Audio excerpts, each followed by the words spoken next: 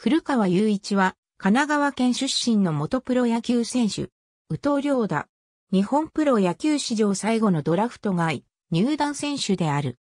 ジェフ・リブジー、マーティ・ブラウンと共に、ベンチに座る古河有一アメリカ合衆国のカリフォルニア州アナハイムにあるキャニオン高校からカリフォルニア大学バークレー校を経て、カリフォルニア大学アーバイン校に進学し卒業。1992年シーズンオフ、広島東洋カープにドラフト外入団。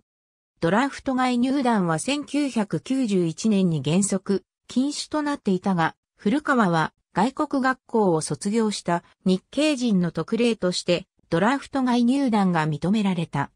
1995年10月に自由契約となり、横浜ベイスターズに移籍、登録名を上古賀へ変更。1999年に現役を引退。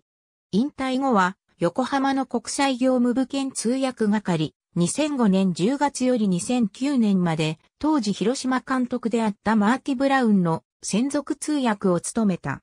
2010年、MLB 球団テキサスレンジャーズの艦隊併用、地域担当スカウトに就任。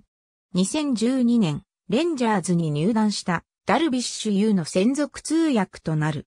12月12日、全米野球記者協会所属の地元記者の投票によるハロルド・マッキンニー・グッドガイ賞を受賞した。2013年からは、レンジャーズの環太平洋地域担当スカウトに復帰した。2020年には環太平洋地域部部長として、有原公平の視察を重ね獲得を進言。同年オフに入団にこぎつけた。ジョー・古川に関するカテゴリー。ありがとうございます。